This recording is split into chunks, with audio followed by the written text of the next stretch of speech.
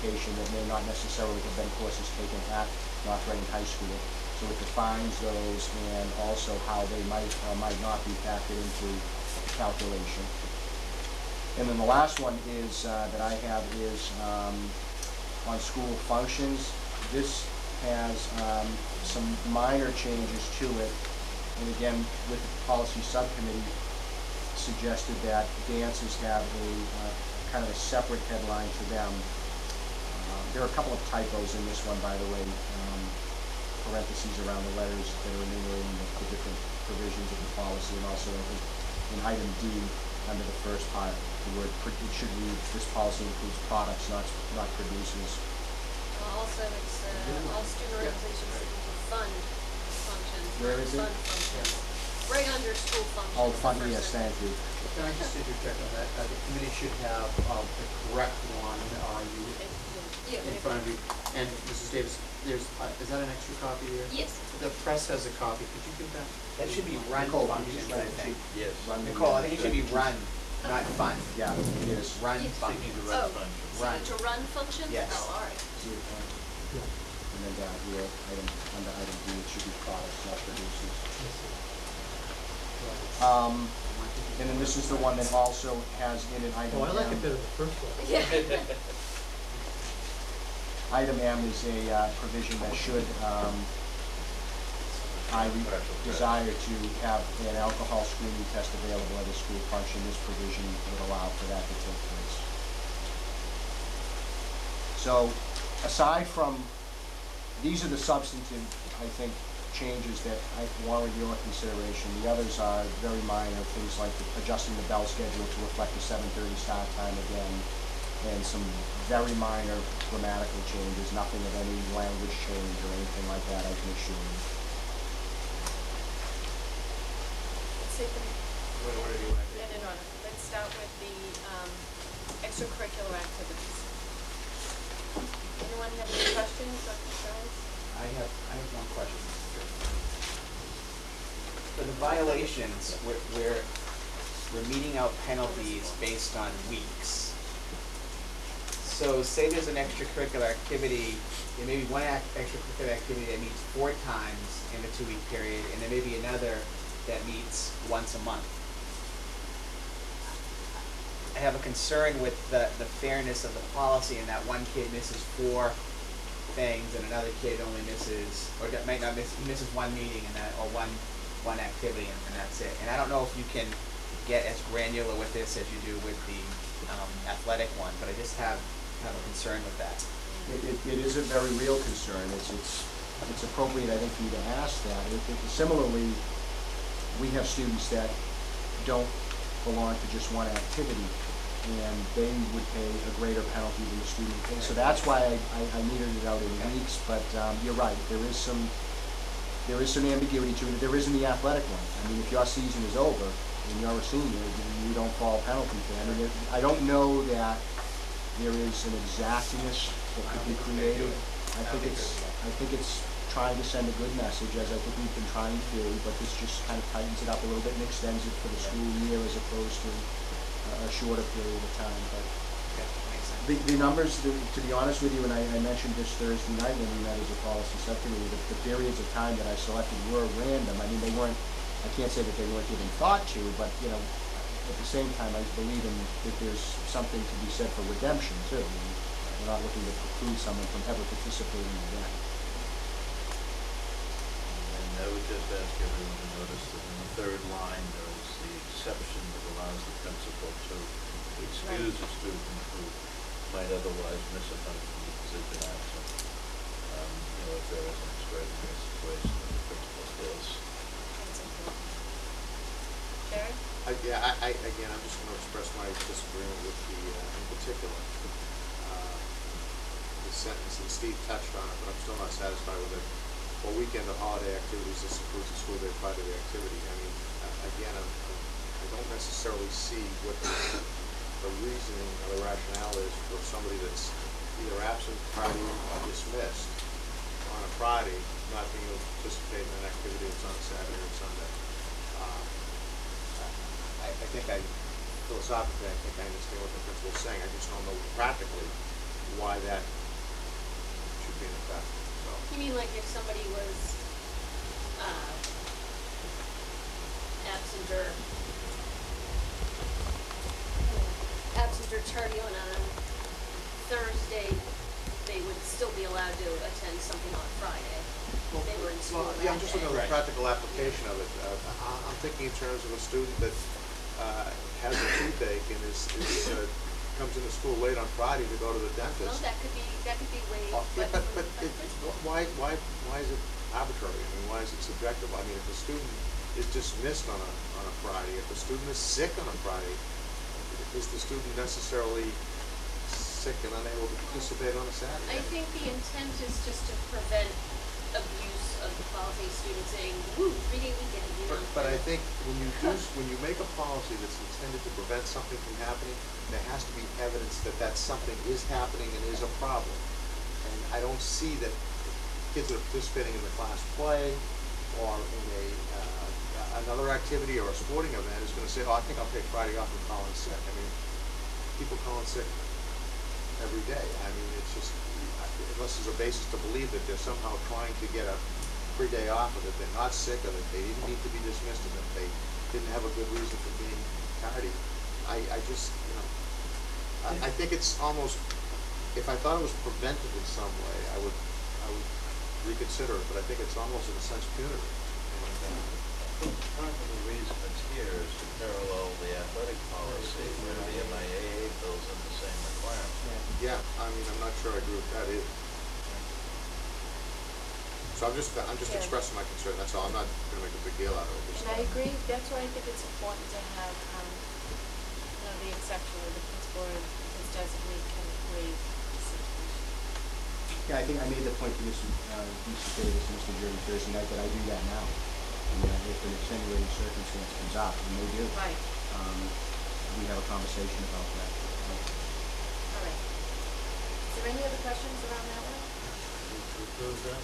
Oh, go one, um, do we have a second? Second. All those in favor? Aye.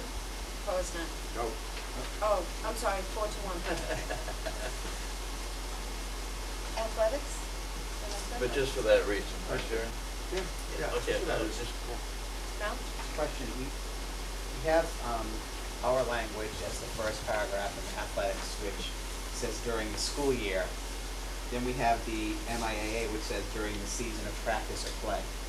So, I, I guess we, we have two, which, which rule are we applying here? Well, we're applying the, the first paragraph, but the first, see the first bold sentence? The- Right. The following exceeds the provisions of that rule, so I'm, I'm quoting sixty-two point one. But by keeping sixty-two point one in here, is that going to be a cause for some sort of confusion? In, in I- other I don't words- believe so. No? until I saw that you were confused, I didn't think it would be. I'm just looking at it saying, wait a minute, I know this says it, ex- it, it exceeds the provision, but right here, this says, so I'm just, okay.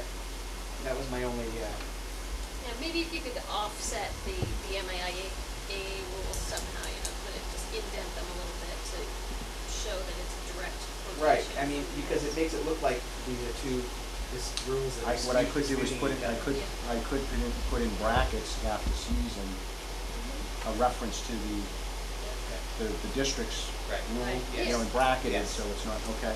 The other question I had is on the, um, it says, it says, for example, if you have on your first offense, I believe it says twenty-five, Yeah. first violation twenty-five percent, and then it says if the season is one to seven events, that's one, one event. One, so if it's seven, again, if it's, if you, if you have seven events during the year and you only miss one, that's not twenty-five percent. No, but what they also say that they round down to the next. Yeah, they round, to the they round down, it's truncated, it Yeah, Oh, okay, I got you. So the All right. most, you would, see, it's actually like one point seven five, but they round down to Okay, the lower. got it, all right. Any other questions? John, just for clarification, how do you interpret the, the sentence, and it was in the other policy as well, but it talks about prescription medication prescribed for the student's usage to be stored in the nurse's office unless otherwise noted by a licensed physician.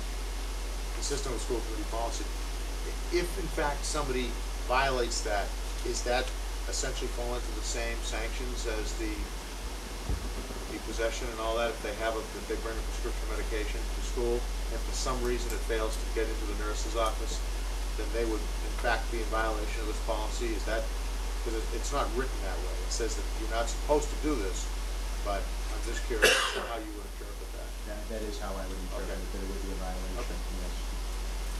And the only other question I have is, does the MIAA require, um, Could I make another point on that? yeah. I think that, I think the district's medication policy has very specific language too about how medication should be identified. Yeah, you know, I So I think that that. comes into play too, so. But I just wanted to see if it was falling into the same category I- I would say other. yes. Okay. And, and the, the other thing I wanted to ask is, does the MIAA require the same attendance policies that we're just talking about now in our policy? Do they require that On- student on- on a, on a weekend, uh, cannot miss school or be dismissed or tardy on a Friday? Um, I'm not sure that they do. you know, I'm not sure that they do, and I, I probably should know that, but I don't. Um, Yeah, I wasn't sure myself, I just wanted to see if, I may be able to answer that before I leave. okay. All right, I don't wanna belabor it, I just. Okay. Can we take motion I think you have to be in school for the, on the day of the contest. Day of. Not, a- not necessarily a practice, that becomes a coach's Okay. Prerogative. In other words, the MIAA doesn't say that you have to practice on the day before, but for the day of the, of the actual, let's say it's a game, you You you are have to to be in school. school. And similarly, they have provisions for grades and, you know, the eligibility and all. Do we have a motion? Move to approve? Second? Second. All those in favor? Aye. Opposed? No, Four to one. Okay, next section, the early graduation. Well, is that the, This is our current policy, right? Oh, Um, actually, Is this is proposed for an amendment, um, to insert the word reasonable before certitude and to change the him later in that same line to him slash her. is that the only changes in Those, there? those two changes. John wants to put this in the handbook, right? That's. Yes, he wants to quote it. I oh, do. all right, but- Okay. Then So away from policy and reading on Well, Well, it's just a review, it's a revision, so you only have to do it once. Okay. um, So you can read it and. You have to read it I into the will, record? yes. Okay. Instructional program, IHFA, early graduation. The normal duration of the high school program is four years, including grade nine. However, in unusual cases and under certain circumstances, a student who has completed all requirements for graduation in less than four years may petition the superintendent proper channels for permission to graduate. Ordinarily, a student must have completed a residency of three years, part of which must have been spent at North Reading High School. In order to be eligible for early graduation, the student must have the written endorsement of his parents or guardian, That should be his or her. his or her, right, the guidance department, and the high school principal. Further, the student must be able to demonstrate reasonable certitude that early graduation will help her or him to attain legitimate personal needs or wants which could not be attained if the high school residency were protracted. Move to, uh, approve the revised version as read. Second. All those in favor? Aye. Opposed? None. Okay. Outside courses, any questions on that? No? Okay. Grading and weighted grade point average. you're going to vote on that. Wanna go Outside to- courses. we need to vote on it. All right. Yeah, took we the can. other ones. All right. There- No questions on it? I move to approve as written. So the, uh, the D outside courses should, uh, the him, her changes need to be put in, not his, her. In the Uh, quote of the policy as the one, two, three, four, fifth paragraph. Oh, yeah. Oh, same as yes. Okay. Okay. So do we have a second with those changes? Second. All those in favor? Aye. Okay. Grade point average. Questions? Gary? I do. Yeah, I, I do have a question, um, let me Before s- we even start with the questions, could we just make a brief statement that we did this in the policy section? Oh, ahead. Answer some questions, yeah. Yeah, I'm hoping. Um, we, we looked at a whole host of issues regarding grading and grade point average, uh, ranking. And what we concluded was that what we really need to do is go back to first principles. How is student evaluation done? At the elementary level,